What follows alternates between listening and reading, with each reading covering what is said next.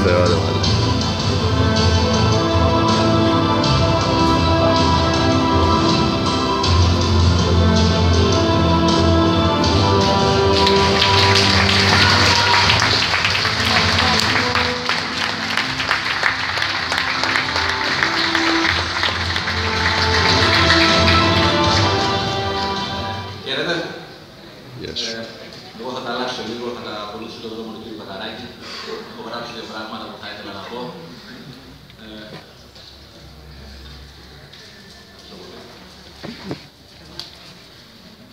ε, τις πολεμικές τέχνες εγώ ξεκίνησα σε πολύ νεαρή ηλικία, μεγαλώνοντας σε Μύκονο.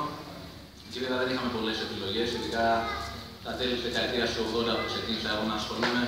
Το άτομο του Βραζίνας Jiu δεν είχε έρθει καν στην Ελλάδα. Οπότε οι επιλογέ ήταν ακόμα μικρότερες. Θυμάμαι την πρώτη επαφή που είχαμε το άθλημα του Brazilian Jiu-Jitsu. Το 2004 είχα κάνει ένα ταξίδι στην Ιταλία για να παρακολουθήσω ένα σεμινάριο από το γιο του ιδρυτή του αθλήματος, τον Royce Lacey. Και θυμάμαι τότε τη δεύτερη μέρα όταν πάλεψα μαζί του, που το περίμενα πώ και πώ, είχα χάσει τον προσανατολισμό μου.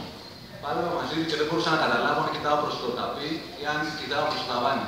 Ήταν ένα μοναδικό συνέστημα το οποίο με μάγεψε πραγματικά και από τότε αποφάσισα ότι αυτό είναι το άθλημα αυτό είναι που μου ταιριάζει. Από τότε έχω γυρίσει σε, σχεδόν σε όλα τα μήκη και πλάτη του πλανήτη και ο σκοπός είναι να μάθω, να μάθω την τέχνη του Brazilian Jiu-Jitsu, να γίνω όσο καλύτερος μπορώ σε αυτό το άθλημα και, και αυτό είναι που κάνω ακόμα και στις μέρες μας.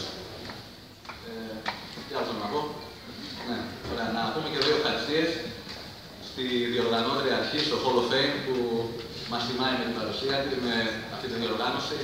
Μας έχει πλέξει μέσα από τόσους πολλούς αθλητές. Ε, ευχαριστήρια θα μπορούσαν να λείπουν στους προπονητές μας, στον κύριο Άρη Χατζιακόπου και τον Χρήστο Μαρκέ.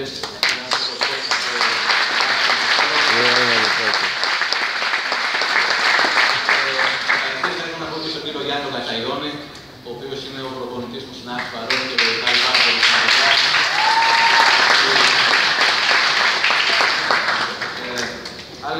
Άλλη μια ευχαριστία θα ήθελα να πω σε όλους εσάς που έχετε έρθει εδώ απόψε και τιμάτε με την παρουσία σας, γιατί εμείς είμαστε ερασιτέχνε αθλητές, δεν πληρωνόμαστε από αυτό που κάνουμε. Και η ανταμοιβή μας είναι αυτό. Αυτό που γίνεται σήμερα, αυτό που συμβαίνει εδώ.